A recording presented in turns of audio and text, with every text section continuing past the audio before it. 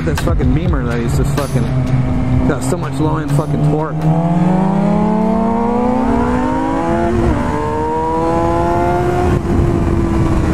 Got by in that time, fuck you.